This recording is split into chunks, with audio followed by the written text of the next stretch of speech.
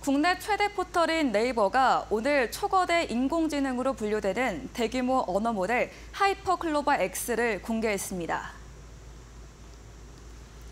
네이버는 이날 그랜드 인터컨티넨탈 서울 파르나스에서 팀 네이버 파트너들을 초청해 팀 네이버의 기술 방향성과 사업 전략을 공유하는 컨퍼런스 단 23을 개최했습니다. 네이버는 하이퍼 클로버 X와 더불어 이를 기반으로 한 대화형 AI 서비스 클로버 X와 생성형 AI 검색 Q를 선보였습니다. Q는 복잡하고 긴 질의를 이해하고 답변 생성에 필요한 신뢰도 있는 최신 정보를 활용해 입체적인 검색 결과를 제공하는 서비스로 다음 달 중 선보일 예정입니다. 또한 생성형 AI를 적용한 검색, 커머스, 광고 등 네이버 주요 서비스들의 변화도 공개했습니다.